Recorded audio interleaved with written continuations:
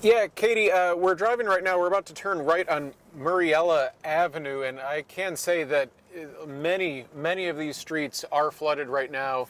Uh, the streets that we're on right now, it looks to be about two inches of water or so, maybe on the roadways.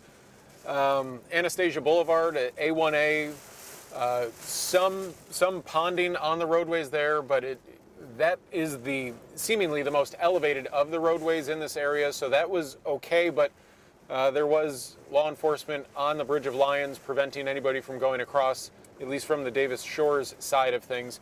Uh, I do want to point out that we are driving exceedingly slow, uh, maybe four or five miles per hour at most, just to make sure that we cause as little wake as possible. Um, certainly, the homeowners in this area don't need anything more to worry about than what's obviously going on right now.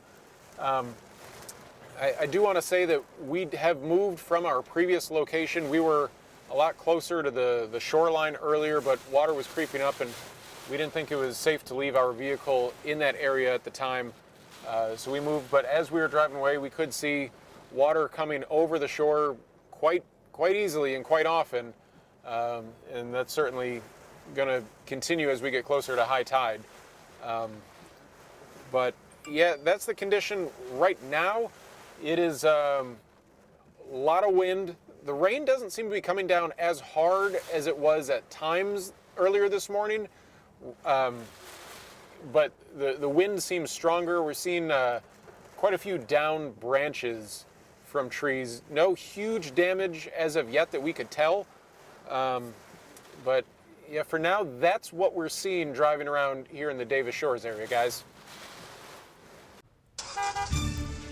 Thank you very much.